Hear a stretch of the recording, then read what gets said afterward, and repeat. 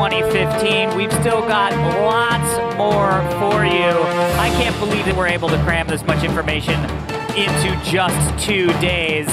Uh, it's been unbelievable. The esports has been going crazy, lots of releases, and we are just now coming back from the World of Warcraft Legions game systems panel where I mean, so much information. My head is exploding. My head is exploding. My head's been exploding for the last 48 hours. Uh, but we are so happy to have Chris Sigaty, executive producer of StarCraft 2, sitting at the desk. How are you, Chris? Good. How are you doing? It sounds like you're having a fun time. Uh, It's great. Oh, We are having a blast, and congratulations! The launch of Legacy of the Void is nigh upon us. Yes. Some might say. Well, you guys day were and a half away, celebrating as really. well in the Yeah, arena. We were, and that was really special because it's been really tough, to be honest, to launch the game so close to BlizzCon like Oh, this. yeah. And The amount of effort that goes into a BlizzCon is, is really overwhelming at times, and to we're trying to figure out the right way to have some notes for this really, well, obviously near and dear to my heart, but I think the best community in the world, the StarCraft Yeah. 2 community. Um, and have a moment with them, and that's what, what that celebration was about. You know, is it kind of bizarre to you to think that this this tournament that's currently happening is the very last Heart of the Swarm tournament that you're looking at?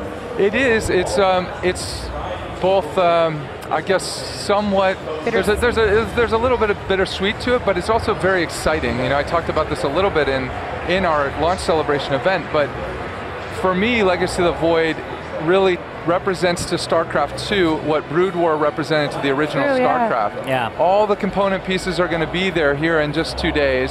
We're going to see this uh, esport community now direct all attention towards what is a very, very different experience. It's so much faster paced. There's so many things that are going on. I'm so excited to see what they do with it, and then we're going to get this opportunity to really um, work with the community, with the pro community, with the players that are playing, and evolve StarCraft 2 in what we hope is the best strategy game out there, period. Bar That's none. Our best amazing. effort ever, you know? So there's still this huge journey in front of us as well. Yeah, and it. I, so I was at the uh, cinematic release tr- uh, party Yes. in LA, and Yeah. uh, heard you talking about the fact that you guys were initially, when talking about StarCraft 2 and the story of StarCraft Yeah. 2, wanting to put all of this into one game, which is unimaginable in Yeah, my we, we literally Yeah, could yeah. not have done it. it No was, it way. was- we weren't. We would not have been able to tell the story we're trying to tell in the way we were doing it. So yeah, that's true. So, and this is now sort of the final chapter in this story Yes, saga. exactly. Um, so that is definitely bittersweet as well. These are characters that are certainly near and dear to my heart. They do go back to the original StarCraft. Yeah. Characters like Raynor, like Kerrigan, Zeratul, uh, this glimpse into the Protoss struggle that they've had and Aiur and their, their retaking of Aiur. These, these are exciting times, but it is going to end a chapter in that story side. But you are going to have more story. It's not the end Exactly. of Yeah, all Exactly. story. Yeah, exactly. And that's an exciting announcement that we've made this weekend is that we have new content coming. We Yeah. have um, a story centered around Nova. And- Yeah, Nova Covert Ops, yeah, right? Covert yeah. Ops, exactly. And it's a, it's a great opportunity for us to pick up on some things that really we couldn't really squeeze into the story of Legacy of the Void because it's telling this broader, bigger story, and now we can dive in. Um, I've heard Valerie, who's on the street, she's one of the primary writers of it, and she's talking about how excited she is to get this opportunity to explain some of the things politically that are going on. What happened at, Yeah. the, at the result Wow. of the end of Legacy of the Void? You know, the lore of StarCraft has always been something that I, that I love reading about because it's incredible. It really is. The love story between Raynor and Kerrigan and everything, it just kills me. yeah, But I will say that I watch it on a competitive level. yeah. And for somebody like me, and I've always been very honest about this, StarCraft, I've always been slightly intimidated by Yeah. it because I watch the pro players, and I know I'm never going to be a pro player. But with something like with Legacy of the Void coming out and Archon mode, for somebody that is new to the game, will that be the best way to get into it to not feel like I'm just going to get murdered when I get out there? Well, I, I think there's a couple things there. One is, yes, it's intimidating. It's intimidating to me to watch the pro level play. Yeah? It's one of the reasons I love to watch it. They are playing at such a high skill level. Yeah. Um, that it, it's it's hard to imagine yourself ever getting there, right? Yeah. People do it, but it's a journey that's extreme. But I think for me, I, I step back and you have to realize that they are the best of the best. Yeah. Um, but that the game is built to work at your level, whatever level that is. And we've spent a lot of effort with Legacy of the Void, making it the best onboarding experience yet. They've completely revamped. The team is completely revamped how you get into the game, how it describes how to play Protoss, Yeah. Zerg, Cool. Terran. The campaign, to answer for you, if you give it a shot, get in there. and I'm going to give it a shot. I Yeah. promised Morhaime that I would. Okay, good. good. Yeah. I'm, I'm going to hold you to that. Yes. So, but it does level up. It has a it it introduces the complexities of the game across time, and that you can get better at that and start to understand it. And it, it slowly, as you do this, becomes less overwhelming to you. And then you can make the choice as a player. Do you really want to go in and play competitively on the ladder? Yeah. You don't have to. That is not what. That's not all that StarCraft is. StarCraft Right. certainly has that, but I think people get caught up in it a lot because it is such a elite esport. Oh, But yeah, it's there's like this the whole other granddaddy game. of yeah, Yeah. yeah, yeah. So, but there's this whole other game there, and, and the campaign is a huge way to get in there. These new modes, Archon mode that you spoke about, is a really compelling way to learn with a partner, get in the game, get somebody Yeah. who does know. You just take these units out and start attacking the enemy, and don't worry too much about it. I'll have some more for you in a moment. Yeah, Um, Archon mode allows that. Um, with our co-op missions that we've added to the game, that's another way to get into it. But in general, it's a mindset that I feel like does StarCraft does start uh, struggle with Yeah. because there's these elite players are out there so much. But there's so many different ways to enjoy and Yeah. play StarCraft. Well, we're also Yeah, getting great Twitter questions coming in. Here's one from uh, at Vegas QC. Uh, I would personally love to know exactly what race slash league Chris Sigaty plays in StarCraft 2. Morhaime had this similar question once, and this person loved it. So, So I Race play. League. I play Terran. I'm a Terran Ah, player. I, I've always stuck to Terran, and with Warcraft 3, it was humans. I don't know. There's something about. Uh, I guess I'm a, a xenophobe or something against aliens. I don't know. Um, but I also, um, as far as league, I'm not. A, I'm not the greatest player. I have a great relationship with StarCraft 2, and I'm okay sitting in the silver, in the silver league area There you of go. play. Um, but that's because I don't put in the time, and I'm uh, I'm okay with that. I understand that I'm not going to be able to dedicate those number of hours to really climb the ladder up to master, grandmaster's level. and Well, this, is, this is a standalone, right? So, Yes. if, if you haven't been part That's of actually a great point. Yeah, bring if you haven't been part of the StarCraft 2 inductee Journey, journey, yeah, yeah. yes, Yeah, you yeah. can start without You having. just jump right in Yeah. and play it. You will, uh, from a story perspective, I I, do just about to highly recommend Wings of Liberty and Heart of the Swarm uh, to get you up to speed. But it does start, gives you enough input to understand where things are at that moment. It's very Protoss focused in the beginning, um, so you, it, it, does stand alone in its own chunk. And of course, you can buy it in that way if, if that's how you want to consume it initially. Was that was that hard, just from a story perspective, to try to figure out how do we finish the story for all the people who have played before, but also invite people in in a way that makes perfect sense and It actually- is its own compelling story. It, it wasn't as difficult as I, I think we you might expect because we had this. They are tightly packaged moments in, Yeah. uh, in stories, so you can bring them online with very little intro um, into it because it's so Protoss focused in the beginning of, of the game. That's so great. Well, Uh, congratulations. Good luck. Thank you so Moments much. Can't away. wait to can't see the believe it. esports finale as Yeah. well. Oh my Cool. gosh, I know. Well, thank you so much to Chris Sigaty. Uh, we have Diablo 3 game director Josh Mosqueira coming up in just a couple of minutes. But first, we're going to take a look at patch 2.4, which features three brand new zones to explore, each inhabited by some of the most unique and menacing creatures in all of Sanctuary. Here's a sneak peek at patch 2.4 for Diablo 3. In patch 2.4, we're adding a lot of new content for players who love exploring the world of Sanctuary, including three new zones Grey Hollow Island, the Eternal Woods, and we're opening a new wing of Leoric's Manor. Grey Hollow Island is a haunted coastal forest. It's constantly raining, it's bleak, it's dangerous, it's filled with creatures and fauna that want to kill you. It's a horrible, horrible place. In the forest, you have some Sasquatches. You have the, the silverback and the bone breaker, massive furry beasts. You have wasps. Our players love the wasps, so we've made a wasp nest. We have the hive mother, who is a variant of the rat king, except she shoots wasps at you. And then in the cave itself, we have a series of more aquatic creatures, uh, such as the amputator and the flesh harvester, which are a small crab and a very, very big crab. And then uh, the abyssal collars and the abyssal protectors, which are sort of Diablo mermaids, if you can imagine them. The lore in, in Grey Hollow Island is, is, is very interesting, and there's a, a mystery that you're going to have to unravel. It's going to take you a little while to figure out. And for our more dedicated players, those who know the lore on their fingertips, they'll be able to tie some of this back to the rest of the game. It's it's a little hidden. Only only the, the very best of the best will figure it out, but some of them will, I know. The Eternal Woods, uh, it's a snowy forest that is just outside of the ruins of Sescheron. Uh, players are used to appearing in front of the ruins of Sescheron and running forward, and it turns out that if they just turned around, there's a whole new zone behind them, and they could have gone there all along, sort of. It's got most of the monsters that you find in the ruins of Sescheron, as well as uh, some undead that sort of have managed to survive in, in the permafrost of that forest. Our players will remember that when you enter Leoric's Manor, there's a majestic staircase in front of you, and on the right side of the staircase is some rubble that's blocking it. And now that rubble's gone, and you're going to be able to go into the right wing of Leoric's Manor and explore that space, which you've never been to before. What excites me the most about patch 2.4, about the new zones we're adding, is really that we're trying new things in all of them. Uh, we're trying different things from what we've done before with the story, with the monsters, with the space itself. Players are going to be finally getting those new spaces, exploring them, exploring the adventures there, and going to discover all the cool new stuff we've added.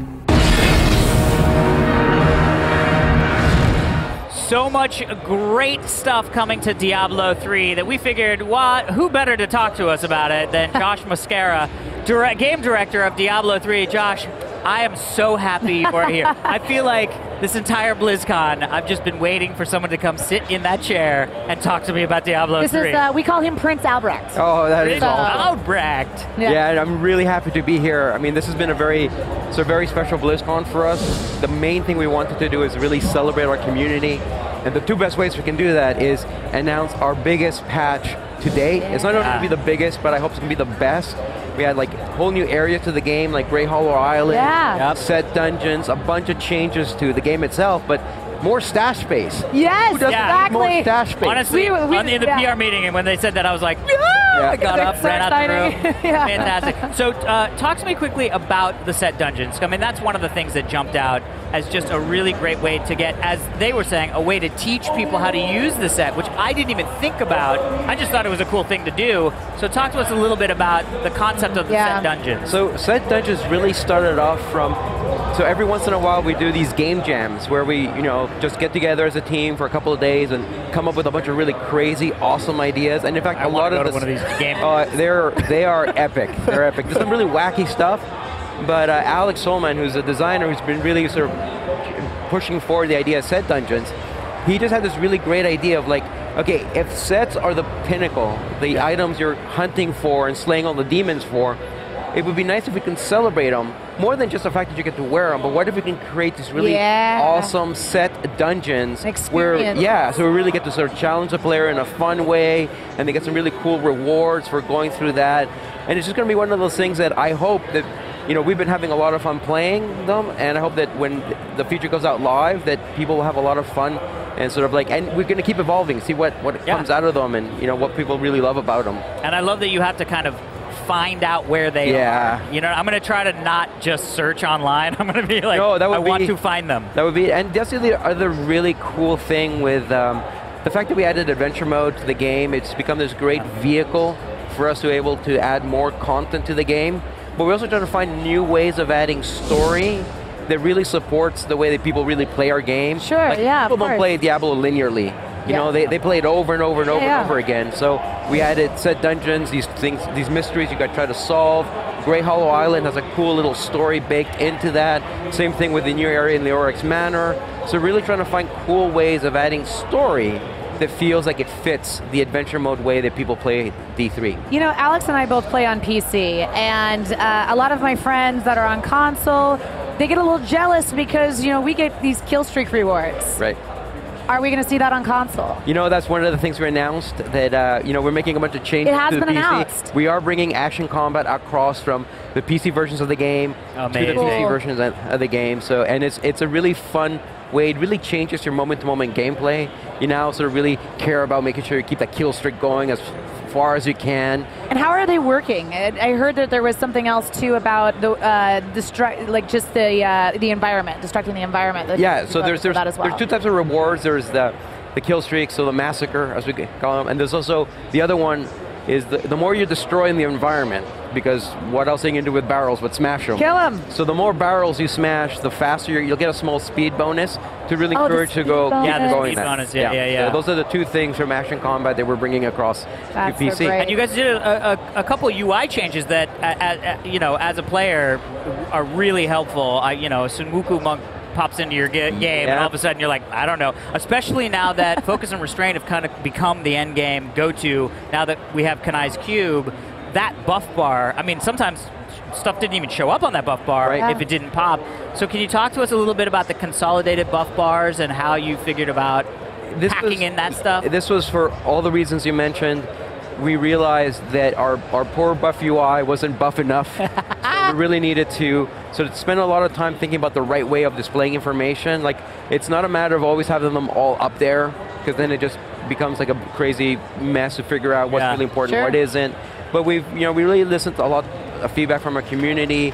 We did a lot of iteration, and I think what we finally ended up with is a really good balance between functionality, usability, accessibility, and more importantly, getting the information you want when you need it the most. Oh man, that's awesome. Well, we do have a few questions from Awesome. Twitter for you. So our first one comes from the Angst. The Angst says, "When will we see what's going on with the Immortal Throne? How much longer until the time is right?" Well, we might have to we, we wait a little bit more. um, KG, I like it. yeah, you know, I mean, they, in, in so many ways, we are like we're not done with Reaper Souls. I think that's the most exciting part of, of where we are. That um, both internally within the team and within Blizzard, but also with our community, like we're in some ways just really getting started in terms of really figuring out what really makes the gameplay of Reaper th- that awesome experience. It's really going to cement the legacy of D3 for the years to come, right? So we're really, I mean, we're just having so much fun. It's awesome being able to release content at a good rate. Yeah. You know, no, no longer going dark for a year and a half, two years, and then something. You know, every couple of months, we fundamentally try to change the game. We add some crazy features like the Ruins of Sescheron, Kanai's Cube, Yeah. set dungeons. I mean, these are really big, meaty patches, and it's awesome to When be able Kanai's to. Cube came out, I thought you were breaking the game. I was like, you can't do that. That you can't do that. And then it now is just changed the whole aspect of the end game. I have uh, a, another question about um, the uh, seasons. When you play through, you're sort of enticing people to play through the story again in seasons now, because at the end of each of the acts, you're going to be getting pieces of uh, one of the sets, so that by the time you're 70, you theoretically have at least one of the sets. So my question is, I might get some of those pieces at level 12, at level 30. Uh, are they going to scale up to level 70? Am I going to be able to use the full set at level 70 as a level 70 items, or how is that going to work? I- That's one of the things that um, I believe that's how it's, it's going to be working. Is one of the I, when we go to PTR, that's I, again we want to make sure that we're not breaking anything Yeah, yeah. because it, would, it would be terrible for us to break anything. And I think the philosophy is if these sets are really going to be the reward, they're not much of a reward if they're a level 12 set and something Right. like that. So again, we really need to figure see how things evolve. Yeah. But if they're going to be rewards, I mean fundamentally we want them to feel like rewards. Yeah, and I, I mean, you know how to do it with the Gem of Ease, which has been fantastic, allowing that to scale up, almost sort of like heirloom items in Absolutely, uh, yeah. Warcraft. Mm-hmm. It's fantastic. You guys have so much stuff going on. Josh, thank you. Thank you for so, stopping so by. much for stopping by. Now let's send it over to Malik, who's standing by with an esports update. What's going on over there, Malik? I've heard it's crazy. Crazy it is indeed. Guys, you know, when I came out to BlizzCon, I did not know that I was securing my one-way ticket to Upset City. There are so many upsets happening out here, starting off with Hearthstone. Man, the Hearthstone tournament is getting real. We already have one player in the grand finals. There was a match between the Dutch Declar himself, Thijs, and Ostkaka. Ostkaka, in a surprising turn of events, was able to come out on top. His freeze mage deck was just too much for Thijs to handle. And throughout the match, you saw Thijs being very frustrated, putting his hand in his, his head in his hands. He was just completely frustrated. And Thijs, he's now out of the tournament. So Ostkaka is going to move on. And on the other side of the bracket, we have Hot Farm and No going one-on-one against each other. Like I said before, Hotform is the last remaining North American player in the tournament. So it's going to be interesting to see if he can pull this out. Now, I said upset city earlier. There are some serious upsets happening in Heroes of the Storm. In a run back of the European Championship, Team Dignitas was able to take out Navi today. This is completely unexpected. A lot of people were expecting Navi to be all the way to the finals, but Team Dignitas will be moving on. And on the other side of the bracket, we have Cloud9 squaring off against Team DK from Korea. And we're going to see who's in the grand finals after that. They'll be facing off against uh, Team Dignitas. I told you guys earlier, do not sleep on the European teams. And right behind me, right behind me, the match between Life just took place. Life is moving on to the grand finals now. This is big because he's going for a second year in a row. This is history in the making. Nobody's ever been able to do that. He was able to take out Classic. Classic actually played the most solid match against him that anyone's played. He's been very aggressive the way he's been playing, just rushing his Zerglings in. Classic had good defense for a couple of matches, put Life back against the wall, but Life was able to pull it out in the end, and he is going to the grand finals for the second year in a row. Now the other side of the bracket, SOS and Rogue, the match is getting ready to kick off right behind me. So I'm going to sit down, post up, and check out what goes on with this match. In the meantime, I'm going to send it back to the desk with Alex and Michelle. Thank you very much, guys. Hey, Malik, Wow. thank you so much. That was amazing. God, I life, can't believe life made it through. life is going insane right now. Yeah, that was crazy. I can't wait to see more, but first we have another Warcraft panel coming up at the bottom of the hour. But first, have you ever wondered how many artists and designers it takes to create the expansive environments in World of Warcraft? Well, the answer might surprise you. So here's a look behind the scenes at the highly anticipated expansion, Legion.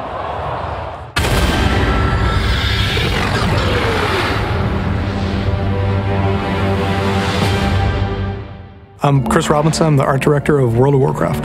A brief description of the new hero class, the Demon Hunter. These are night elves and blood elves who were essentially conscripted into the service to fight against the demons using their own power. They were part of an ancient army that was brought to life once we realized like this threat that was coming at us and kind of brought them out of hibernation or, their, or where they were currently at to fight against this power that we've realized is much stronger than something that we could probably handle on our own.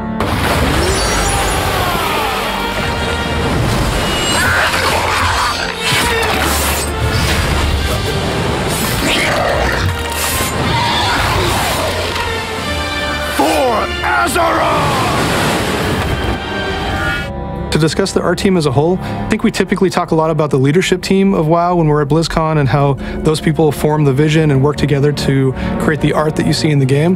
But we really wanted to take a look this time at the team and the team members and the, what they do to pull their collective vision together to form what we know as the game. We have a character team, a dungeon team, an environment team, a prop team, an animation team, and a technical art team. And it's a combination of all those ideas and all those people coming together that creates what we have.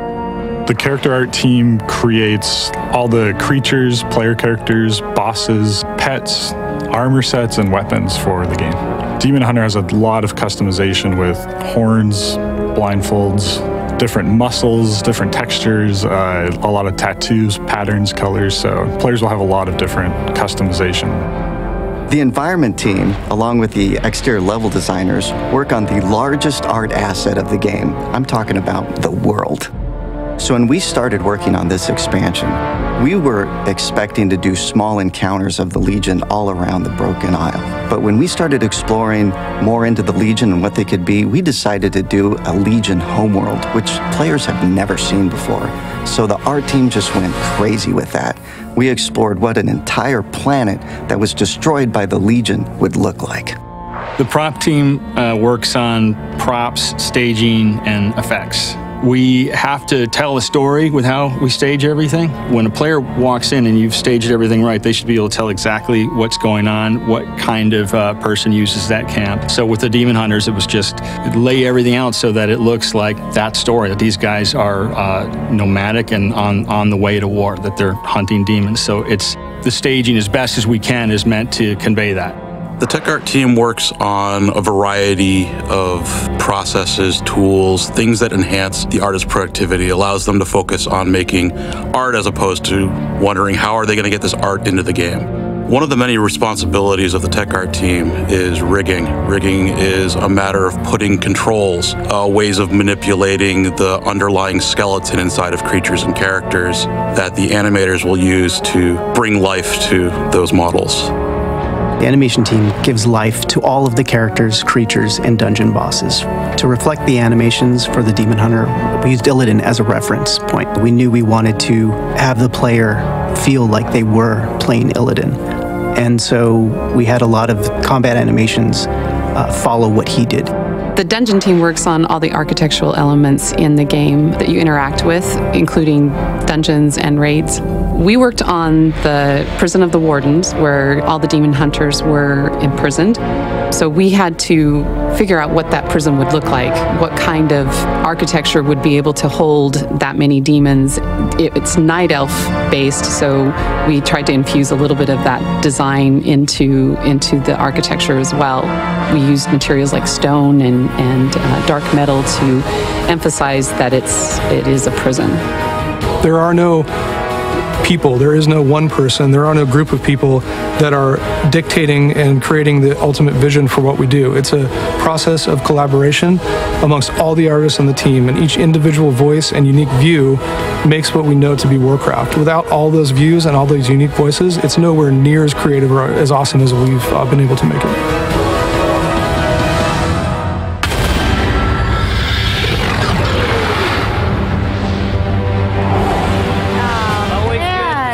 Beautiful that game can be. You know, I, I mean? know, and it's such an incredible team. They really do have an amazing team up there. They're fun to visit. Everything. They've oh. great people. Well, look, as you guys have seen this weekend, Malik has been checking out our show floor, and yesterday he stopped by the T-Mobile booth to get some information on what they are providing the attendees here at BlizzCon. The internet is serious business, especially when you're at a gaming convention filled with smartphone signals that are jamming your reception.